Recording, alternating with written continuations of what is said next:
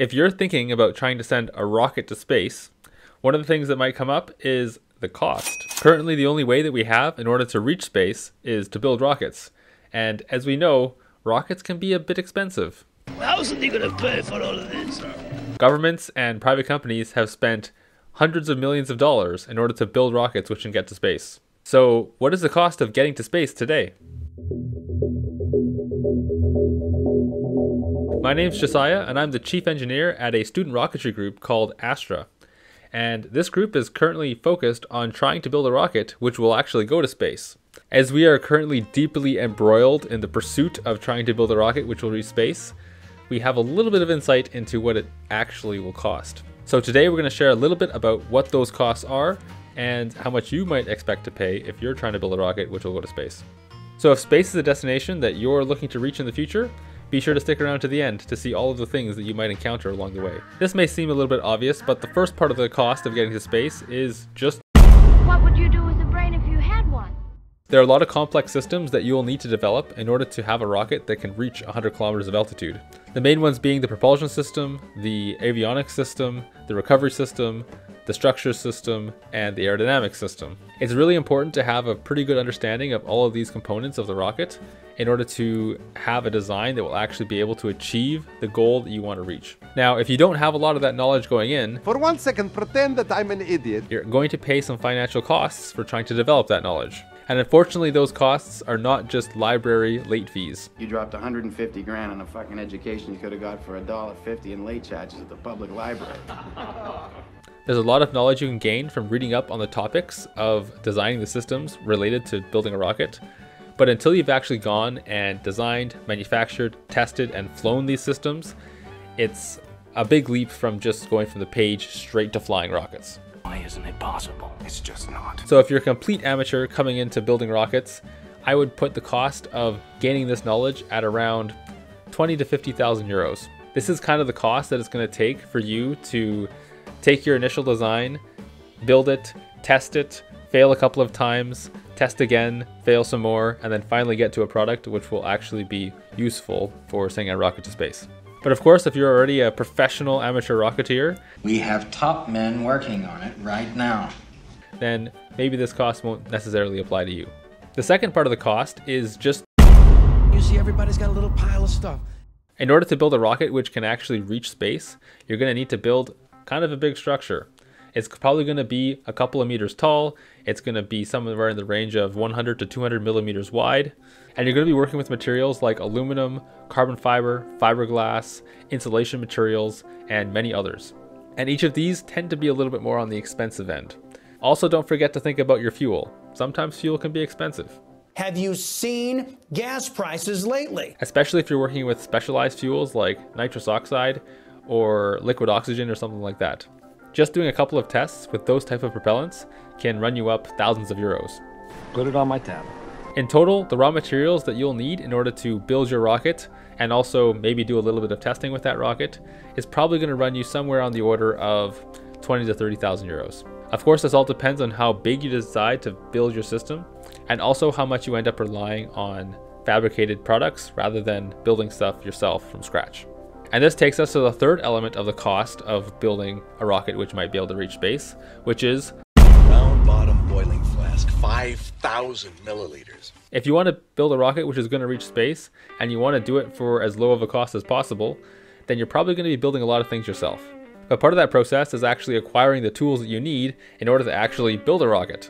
Usually these tools will include things that you'll find probably anywhere where someone's trying to work, like drills, drill presses, mills, uh, lathes, but it also can include specialized equipment like 3D printers, CNC mills, um, a special type of CNC lathe, maybe a carbon fiber winding machine, and other things like this. Now, it may not be smart of you to actually go and acquire all of these specialized tools, especially if you only want to build one rocket which goes to space or something. So you might think about trying to uh, share caring. Maybe get some sort of deal with somebody who already has one. Or you could actually choose to just decide to manufacture some of the products for your rocket with a company that does it for you. But regardless of the path you choose, Tools are definitely going to be part of the cost, and usually they end up being about equal to the cost of the actual raw material of the rocket, so somewhere in the order of 20 to 30,000 euros, depending on how much actual specialized tooling that you want to acquire in the end. You also have to remember that sometimes you actually have to build your own tools. Like for instance, while Astra was trying to spin our fuel grain, we actually had to build our own contraption which would actually spin that fuel grain and create our fuel. And just the process of creating that tool ended up costing us one or 2,000 euros. So those types of things kind of end up contributing to the cost of the overall tooling. One cost factor that could actually maybe help with your tooling cost, and one that you might not have been thinking about, is actually Is inefficient and should be dissolved. it definitely pays to have a little bit of political capital if you're deciding to build a rocket which will go to space. There are a lot of political hurdles that you're probably going to have to clear in order to achieve a feat just like this. For instance, you're going to have to get some sort of clearance in order to launch a rocket up to that altitude, no matter where you are in the world. If you're in America, if you're in Europe, there's all kinds of different rules about how you can actually launch and fly a rocket of this magnitude. And usually you have to go through channels that involve actually applying for like a space license. And applying for and doing something like this actually requires a little bit of political capital, and you're going to have to expend a lot of time in order to get those clearances. You don't have any code violations, do you?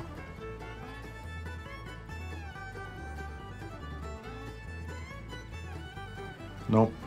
But you also need to think about the political capital in the sense that you have to kind of work together with other entities that have also done things like this and maybe have tools which you can use and share in this enterprise. For instance, if you know another group that has built a rocket or uh, built a rocket in a specific way that you want to build it, they might have a tool like a lathe or a carbon fiber winding machine or something like that that you can share and actually reduce the cost of your own rocket.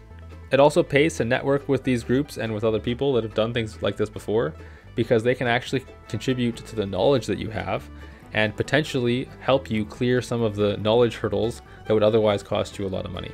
And with more knowledge, you might be able to save on the next cost category, which is actually One eternity later. This is an often overlooked cost to building a rocket, and although it seems obvious, it is not always clear exactly how much time it will take to do something like this. Now, as far as we can tell at Astra, uh, it does take quite a lot of time indeed. Of all the parts we need, but we're slightly behind schedule. How slightly? Uh, six to nine years. 69 years? No, six to nine years. Right now, Astra consists of about 50 members working 10 to 20 hours a week, and we've been doing this for about two years. So that kind of gives you an idea of how much time we're actually putting in in order to make our vision of getting a rocket to space possible. And we probably expect to be spending this much resources on time for the next two years. Now keep in mind that we're a little bit on the novice end of the experience scale, so we've had to spend a lot of time just learning how to build a rocket. I have no idea what I'm doing, but I know I'm doing it really, really well. If you're a little more experienced, you can maybe skip a lot of that time and just get straight to building a rocket which goes to space. But still, I would expect you to be expending probably around 50% of that time uh, if you're trying to do this. Another way to save some of that time is if you have a little bit of money, you might be able to not build so many things by hand and actually just have other companies or other people build those things for you and just pay a little bit for those products. But regardless, you're still going to be spending a huge time investment trying to get a rocket to space. It just takes time like you wouldn't believe. So be sure to clear lots of it if this is something that you want to do. But after you spent all that time, of course, the main event and the main goal is to try and take that rocket to the launch stand. So, how much does it cost to launch? Over the course of the last year, Astra has been looking around for different places where we might be able to launch Transcendence. And in that process, we have gathered some quotes for places where we could potentially do that. So far, the average cost for actually taking a rocket and launching it all the way to space is coming to around 100,000 euros. Now, the reason why that's so expensive in Europe is because in order to launch a rocket all the way to 100 kilometers, you kind of need a big area in which you have to have all cleared of people and things where the rocket could land. When you go all the way to space, you don't just have to think about the rocket going up and coming straight back down. You also have to think about the downrange distance that that rocket's going to travel. And in the case where you're launching all the way to 100 kilometers, that downrange distance could be anything from like 50 to 100 kilometers downrange. Having that big of an area cleared of people and infrastructure is kind of difficult in Europe as things are quite densely populated here. Pretty much the only way you can achieve that is to launch over water. And that comes with its own challenges because then you have to, of course, go and recover a rocket in the water. Of course, you might be able to skip some of these costs if you are potentially launching from another place in the world. One example of this would be in America.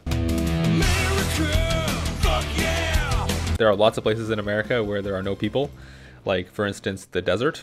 So as long as you have your clearances to fly a rocket all the way to 100 kilometers, you can basically drive out to the desert and try and launch a rocket. Of course, it's not completely free. You still have to bring your own launch equipment and your own infrastructure to actually make that launch possible. And that's probably going to cost you money.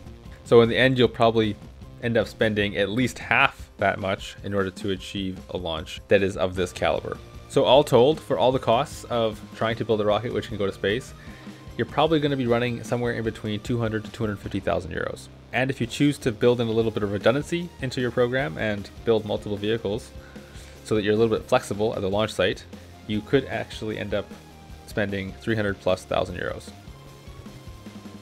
What the hell? I hope that big number doesn't scare you into deciding not to build a rocket which goes to space, but it certainly did give me a couple of heart attacks along the way as I learned just how much it is to build a rocket and do this. Full disclosure, at the start of the project two years ago, I did a cost calculation to think about how much we might expend in order to build a rocket that goes to space.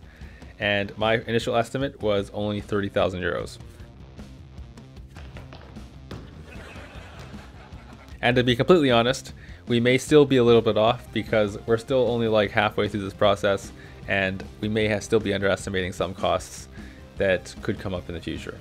And this is why I think it's so important to talk about these costs openly because I don't want other groups and other people to think that, you know, they can get away with just spending, you know, 10 or 20,000 euros and they can build a rocket go, that goes to space. You kind of have to think about all the parts that are in the process so that you don't get surprised by the big costs that come down the line. And that'll be able to properly prepare you for taking on this challenge in the correct way.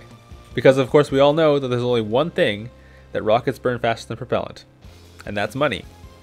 So you better have a lot of it. And remember to expand your horizons.